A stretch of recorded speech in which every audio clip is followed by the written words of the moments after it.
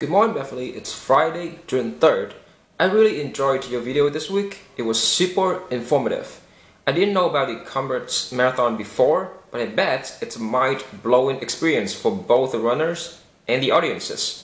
For me, the most interesting part about your video is that your grandpa actually won the race in 1965. That's like super cool because I don't think I can even make it to an hour to be honest. As I had planned, I finished teaching on the last day of May since I didn't want to work through the summer. The last day was not easy. I always hate the ending of things, the ending of a job, the ending of a relationship, the ending of a school year.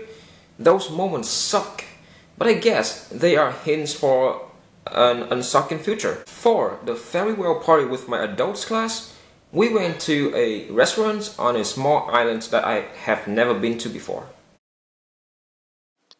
The restaurants provided free boat rides back and forth from the mainland, so it was very convenient and we were all so excited. My class did not end because I left though. I found another teacher to replace my position. Sadly, I haven't heard a lot of good things so far about her teaching techniques, I hope that things would get better soon because otherwise I would feel so guilty for taking off for the summer. A friend of mine just came back home from Towson University from Maryland. Does the school sound familiar to you at all? Anyway, my friend lives in this one international neighborhood where it's full of foreigners and restaurants from different countries in the world. So we decided we should go out for dinner at one of those restaurants we ended up eating in this one restaurant called Little Armenia. And the reason was that my friend mistook Little Armenia for Little America.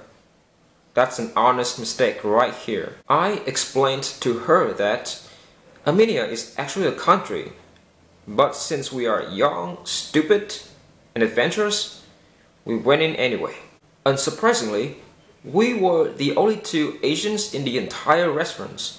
So we asked the waiter to show us some popular food for Armenia. And he did, but we still didn't have a clue.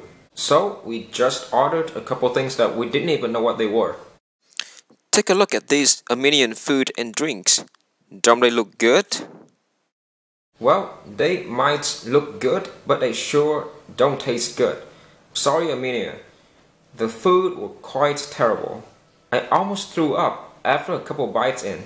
After a while of trying to make it look like we actually enjoyed touching the food, I and my friends got the heck out of the place. Now I'm sure that it's just that we're not used to eating those types of food and maybe the restaurant did not really make good authentic dishes.